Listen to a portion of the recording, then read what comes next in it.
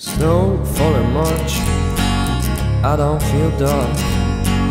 I'm in love even when the sun is out on a holiday. Look, I don't know. He didn't explain. There was a problem with the electrical system at the nightclub. I don't know, but we may have to cancel the party. Somebody has to tell Margarita immediately. No, no, no. They're waiting for the electrician. I'm out walking. I'm meeting Francesca. We've got to study for an exam together. Sure, I can let Margarita know. Yes, yes, if I find her. Yes, of course. Relax, I'll tell her. Hi, Marco. Sorry I'm late. Wait a minute, I'm on the phone. Yes, okay, all right. Hello? I can't hear you. Hello? Here we go, blocked again. What's happened this time? Today everything's happening to me. I can't lose this job.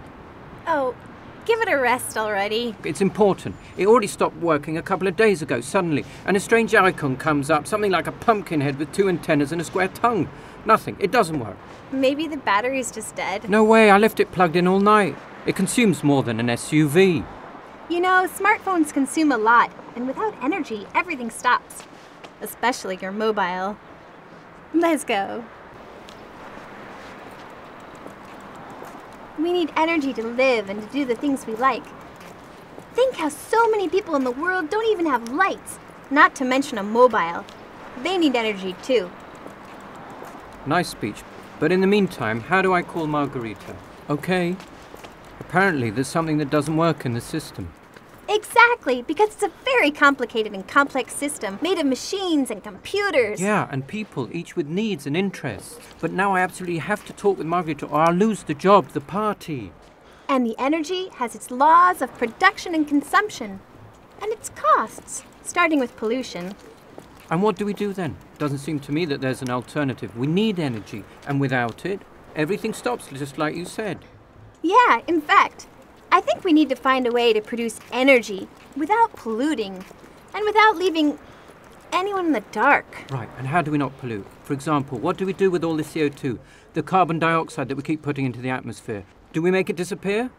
Do we send it back into the smokestacks of the factories that produced it? Actually, you're getting close. You know, I've discovered that they're developing a technology to capture CO2. And how do they do it? They told me that the carbon that gets extracted in the form of petroleum, gas, or coal, when it's released with burning and transforms into CO2, it can be captured and pumped underground, really deep. It's like a round trip cycle. It returns to the old deposit as carbon dioxide, and this is what they call geological storage. Get real. Did you dream this up? No, it's called CCS, which means carbon dioxide capture and storage. The capture and storage of CO2. They say that it can act as a bridge towards a new reality. Try and imagine. Before the bridge, the factories with smokestacks. After the bridge, without smokestacks.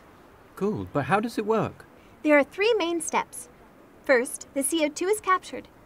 Then it's transported in pipelines or ships. And finally, it's stored in porous rocks to isolate and safely trap the CO2 emissions in the deep underground for thousands of years. Has this thing been tried yet? Of course, they're already doing it in some countries in Norway, under the seafloor, in Canada, in the United States. They inject the CO2 in geological traps. That's what they're called. In the pores of the rock that absorb it more or less like a sponge.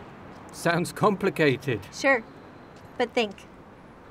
In this way, we can do something about the huge amounts of CO2 that now, every day, gets put in the air by the power plants and factories. So, doing just that by itself would be enough to change our lives? Just that, no.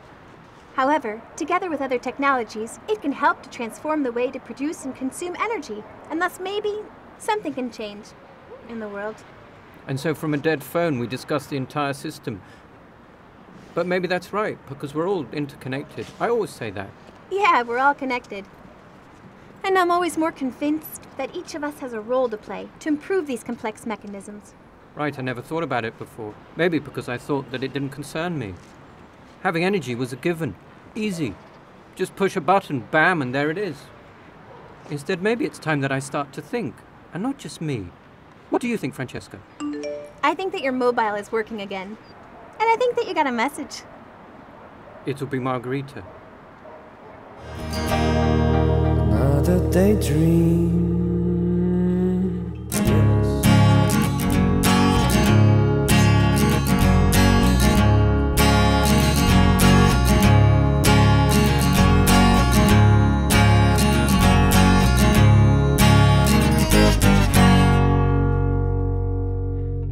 Tall lady and a brown man walking down the street.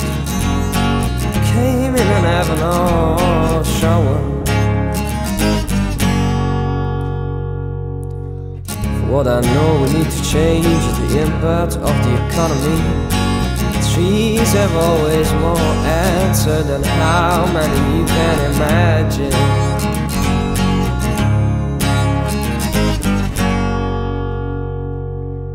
Take me